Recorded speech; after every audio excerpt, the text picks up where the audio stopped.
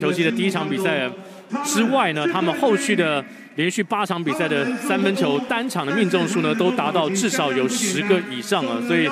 是在整个三分出手比重最多的。那当然，其中老将杨敬敏呢，从去年他在梦想家的场均十三点四分，今年进步到了二十一点二分，几乎就是本土最高了。我们来赛前听听杨敬敏的访问。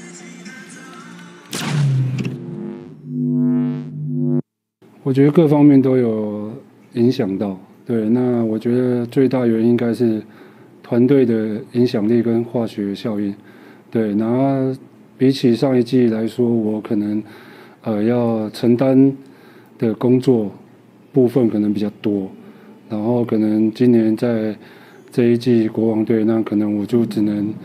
呃很专心的做好我应该做的工作就可以了。那相较。这两年的变化，那我觉得，呃，这一季我我的队友、我的团队会比上一季来的更成熟，然后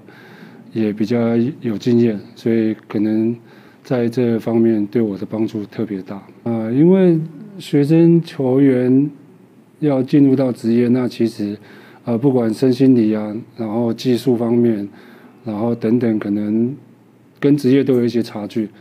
所以，那我觉得可能最快速的进步方式，就是要去多开口，然后不管是请教呃教练，或者是请教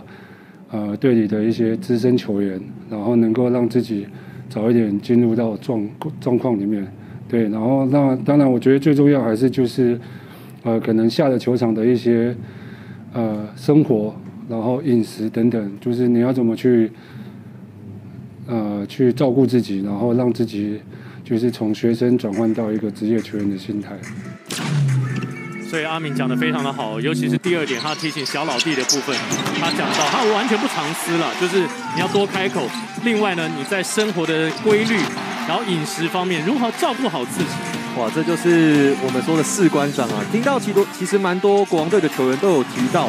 敏哥在练习当中，他的专注力，或者是说他对于这种小老弟的要求是不下于总教练，等于说在场上其实多了一个总教练去督促他们在练习跟比赛当中，也是国王队之所以可以在上半季打出非常好成绩的一个原因。对，已经三十七、三十八岁了，杨敬明依然驰骋在球场上了，而且他的得分，呃，今年堪称是所有本土球员的表率。啊今年球季二十一点二分之外呢，他的三分球命中率呢比去年提升了七个百分点，罚球命中率也达到八成以上。同时一场比赛可以传出四点一次助攻，别忘了他还有一场比赛六点六个篮板球啊！哇，宁哥可以说是全面的进化。那刚刚访谈当中也有提到，进入到国王的体系，他可以更专心的在攻击端来为团队提供火力，比起去年在梦想家，可能有时候还要分担一些组织控球的责任，所以也也是为什么今年在整个攻击数据上面一个大提升的原因。没错。